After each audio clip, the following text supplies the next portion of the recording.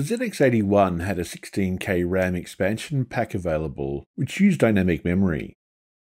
Interestingly, this expansion cost the same as the kit form of the ZX81 itself. Can I ask you about the new RAM pack attachment? Yes, well, it was thought that we might do something to boost the machine's memory. This RAM pack has some infamy associated with it. Yes, right, because a lot of our readers are saying um, that the connection's not that good, um, that they fall off. We are aware of, of this issue. Our engineers have looked into it, and I am informed that the use of a piece of blue tack about the size of a runner beam will resolve the problem. Blue tack? Quite so. But there are a few surprises with this gem, so let's open it up and have a look.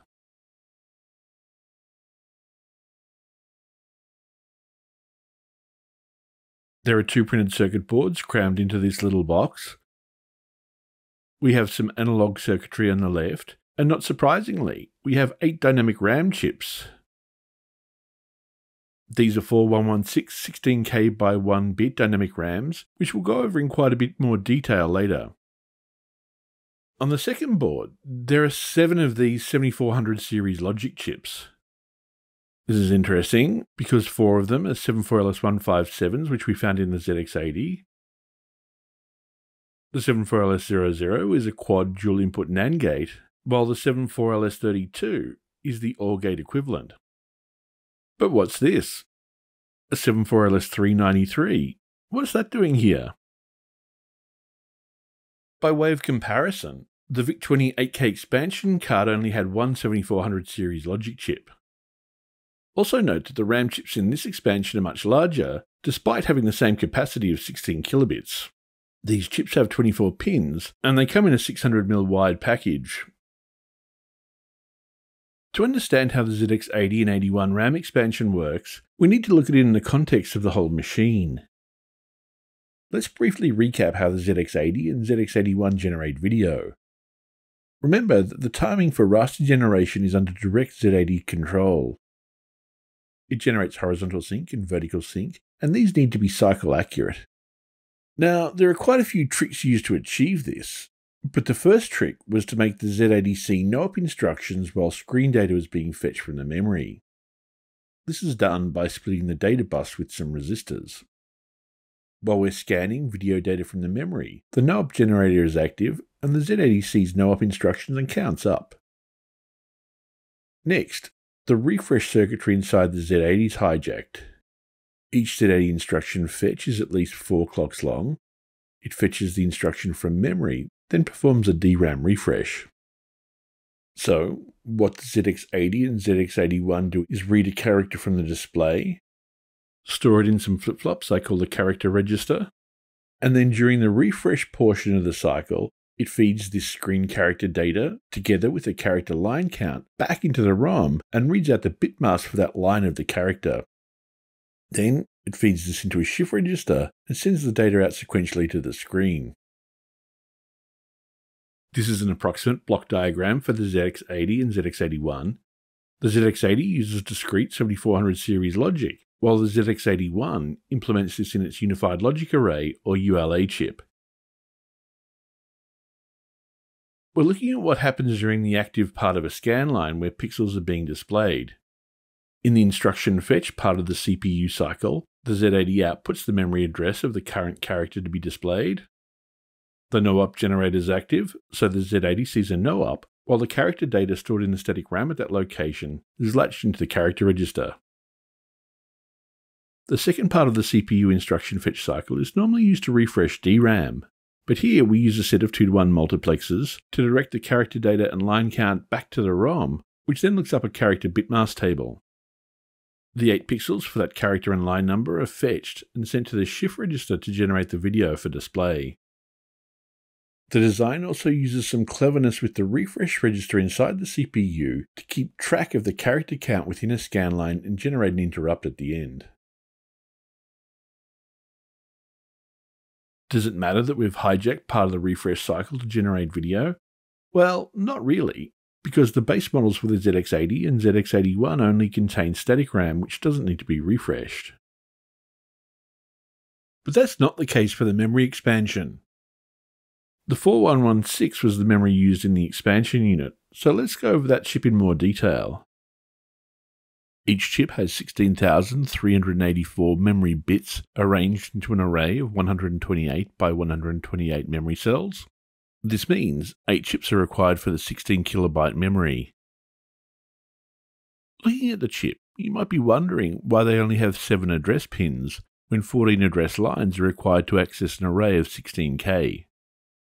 Well, to save pins, the chip accepts two lots of 7 bit address lines fed in sequentially as two transactions. This is a block diagram of the chip internally. Let's say we want the Z80 to perform a main memory read at location 495D hex.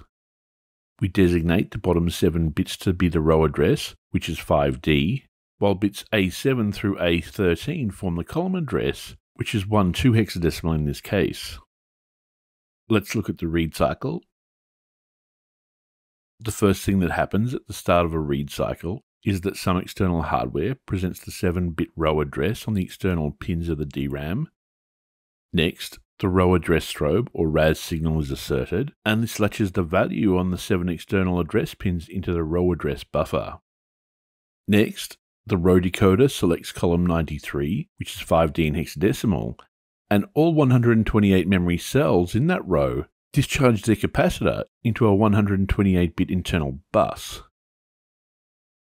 Obviously, only those storing a charge representing a 1 actually discharge their value onto the bus.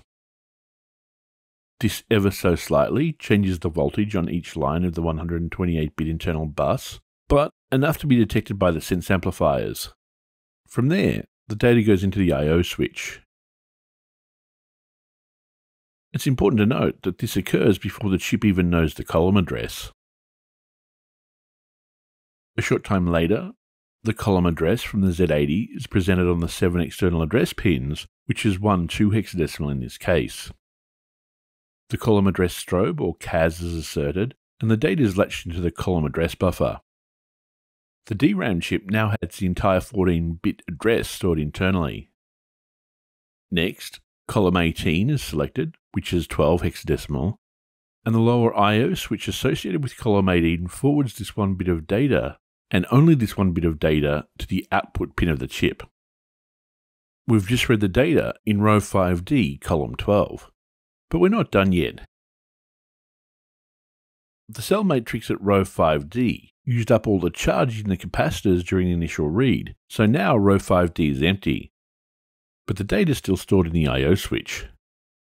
To solve this problem, at the end of RAS, all 128 bits stored in the I.O. switch are written back to the cell memory, and that data is good for another 2 milliseconds. Once this is all done, the chip needs some time to prepare the internal 128 bit bus for the next memory access, and this takes at least 100 nanoseconds. So the entire random access cycle time for the chip is 320 nanoseconds. But there's a bit more to the story than just reading and writing. The charge stored in the memory cell capacitors is lost in 2 milliseconds, so we need to keep topping them up. We do this with a RAS only refresh. During RAS, the row address is latched and the entire row writes data onto the internal 128 bit bus. This is detected by the sense amplifiers and stored in the I.O. block. But what happens if there's no CAS? Well, when the RAS cycle ends, the chip just writes this data back into the memory cell matrix. Except this time, all the capacitors storing the data are fully charged, and it's good for another 2 milliseconds. This is good for one row of the cell matrix, but we need to refresh all the rows in the matrix every 2 milliseconds. This is the schematic diagram for the ZX81 16K expansion pack, it has its own circuit for generating plus 12 and minus 5 volts for the DRAM chips, but I'm not going to go over it in detail here. Next, we have a bank of 8 4116 DRAM chips. Then, we have two sets of 2 to 1 multiplexer pairs. Again, these are the 74LS157s that we saw in the ZX80 design. Put simply, when select is low, one set of inputs is routed to the output, and when select is high, the other set of inputs are connected to the output. Next, we have this 74LS393 dual 4-bit ripple counter configured as a single 8-bit counter. Now, here's the main trick behind the design. The 74LS393 is acting as an external refresh counter. This does the job that the refresh counter in the Z80 normally does, but can't do it now because it's busy counting characters in the scan line. Let's see how it works. During the RAS cycle of a main memory read or write, the multiplexers are configured so that address bits A0 through A6 of the Z80 go through to the DRAM chips. During CAS, address lines A7 through A13 go through. But during refresh, the output from the 8 bit external refresh counter goes through to the DRAM and provides the refresh row address. Just like the internal refresh counter, this counter is clocked by the Z80 refresh bar signal.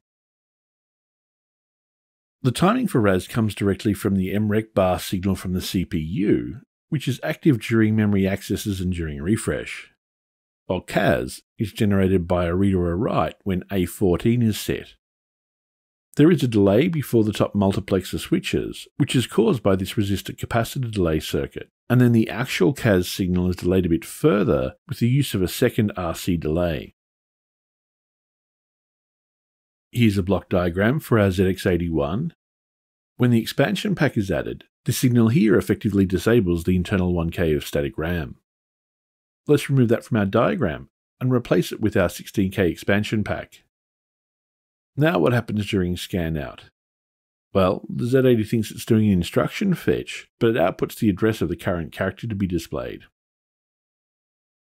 We do a DRAM read, and the data goes into the character register.